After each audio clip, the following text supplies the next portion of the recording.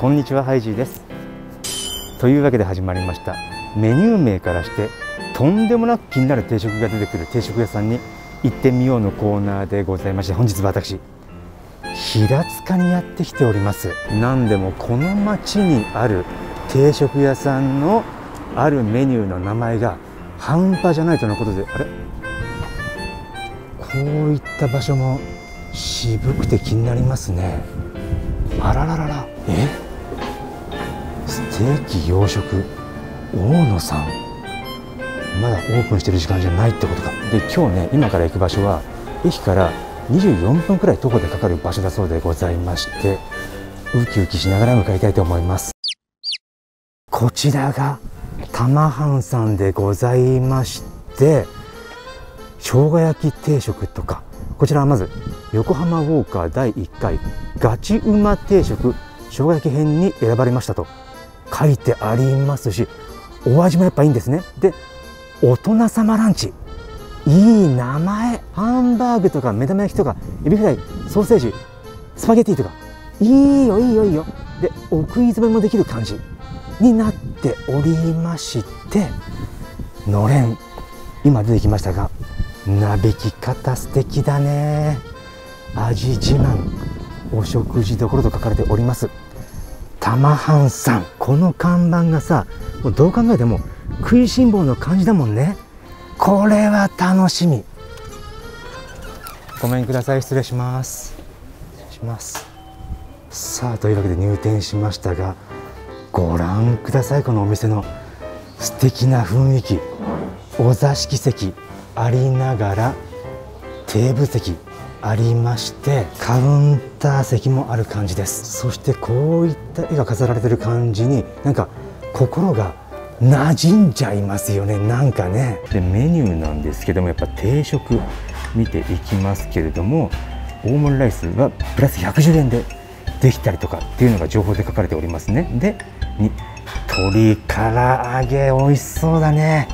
もうちょっと待って。これ決勝進出？唐揚げグランプリ。でもつ煮定食セットの馬刺しとかもあるんですね。カツ三昧牛カツ三昧牛カツの断面美味しそう。できた大人様ランチね。もう美味しいの全部のせ。で大かきフライ定食も4粒入ってますね。かきかば焼き丼。ちょっと待ってよ。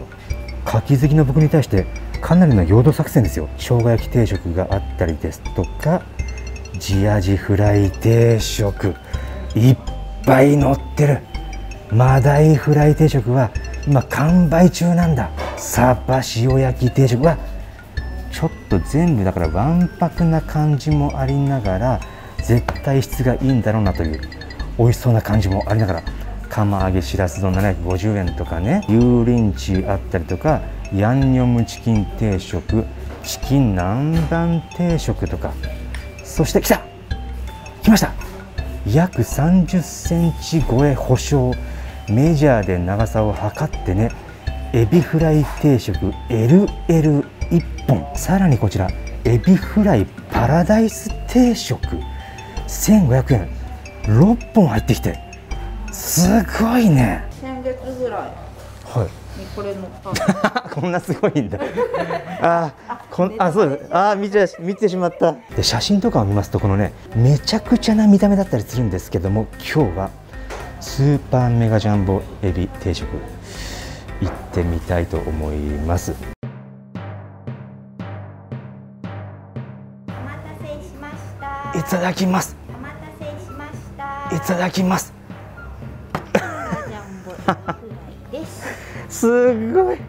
いただきます。はい。いやこれはびっくりのサイズ感経典同地のエビの長さすごすぎる入るこれ画面に収まる？相当引かないと無理よでこれがエビの長さが測れるメジャーになってるんですって。こうして一番先が35センチなんですけども35センチを超えてます。いただきます。エビ以外のねご飯もすでにもりもり感半端じゃないですしこういった小鉢のメニューも充実しております。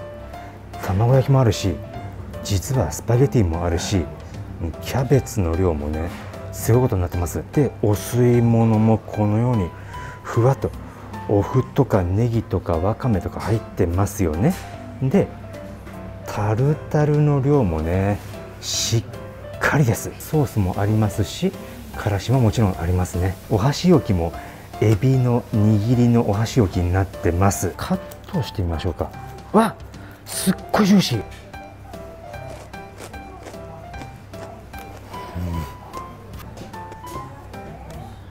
うん、う、まい。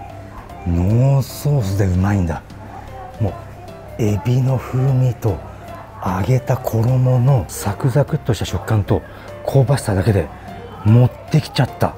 持ってきちゃったって何？持ってきちゃったって何か分かりませんけども持ってかれちゃった。あー！でこちょ断面見たいよね。一回この辺でこの乱暴者をカットしてみたらどんなあっめっちゃ分厚い。これは分厚いぜ。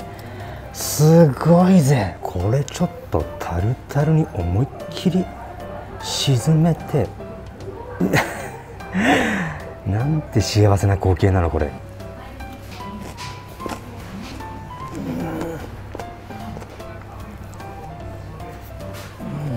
幸せすぎる。広がり方濃いこの濃いタルタルソースを受け止めながらそれでも自己主張はしっかりしてくる。エビのうまさ。ゴン太だもんねこれね。断面の太さだけでも4センチとかあるのかな。このエビリーゼントのこの人もめちゃくちゃ興奮してますから。でソースパターンでもいきますか。おいしょ。おいしょと。いやたまんないね。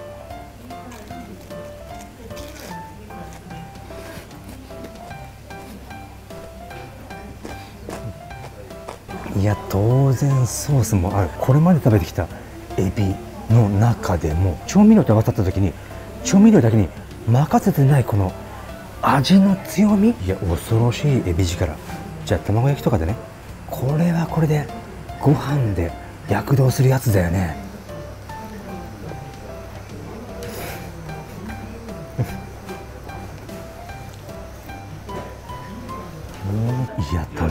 大好き。ふわふわした感じとちょっとジューシーな感じと甘さ兼ね備えたベスト卵だこれ。キャベツの量なんかもね異常なほどのもりもり感ありますよね。これはありがたいしこのエビを立ててたこの棒の下どうなってるのか気になるよね。キャベツ食べないと見えないからそれが。食べていきましょう。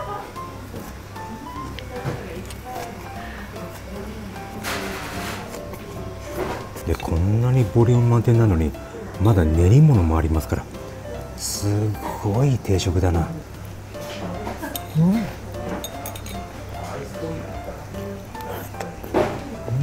いやこんなにうまいの練り物。柔らかい食感が絶妙で中から出てくるジュワうまなやつ何？お出汁うま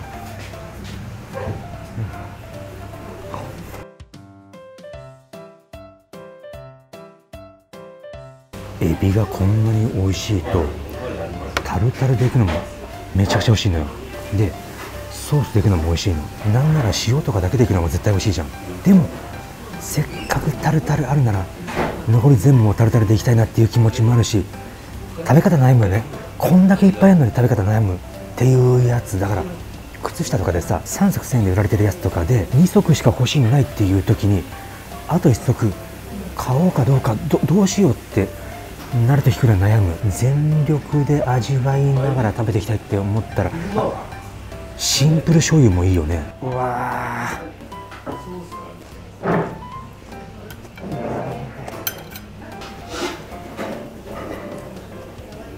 シンプル醤油でまたエビが立つ。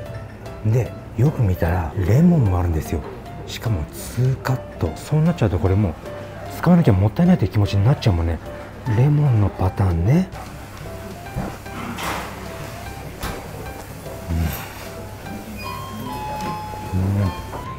さらにパスタまで。もう怒涛怒涛の洋食攻め、うん、すごい美味しかった。でトマトもあるのにトマトもあるから。でコーンもあるから。結局これキャベツだけじゃなくてサラダっていう感じになってるのね。そろそろそこが見えてくるかもしれません。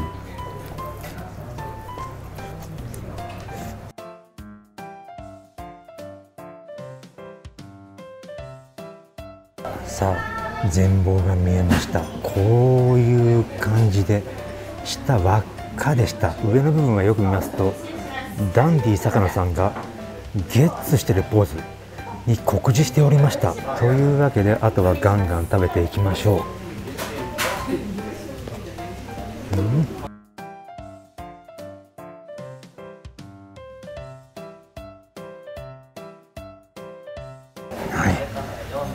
食です。ごちそうさまでした。えー、すみませんいただきます。じゃあこれお母さん書かれてるってことです。これもうこれが、すごい。いただきます。ありがとうございます。なんて素敵なお母様。僕が今日来ることを知ってくださっておりましてこの絵をプレゼントしてくださいました。あれちょっと待って。虎の顎もしかして長いのかな？ジャンボメガエビフリャー美味しくお召し上がりくださいって書かれてます。うわというわけで玉藩さんにてスーパーメガジャンボエビフライ食べてまいりましたがいや出てきた瞬間驚きましたね。写真で見てもわかんない現物見て初めて度肝を抜かれるデカさでございまして自分の顔より長いエビそれも美味しいめちゃめちゃ美味しいエビがこんなに長いとこんなにずっと食べてられるんだっていう幸せがそこにありましてこれはもう食べるという一個のアトラクションみたいな感じの体験できたな。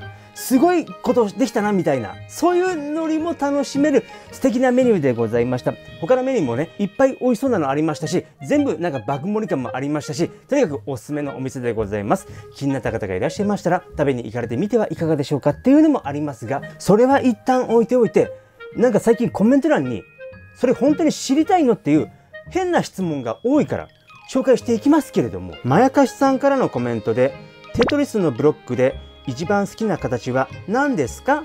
本当に知りたい人のテトリスのブロックの好きな形。そんなにねバリエーションないじゃん。別に何種類かしかない中で。まあ一番人気は長い棒のやつからなんてことも思いながら僕はね四角いやつ。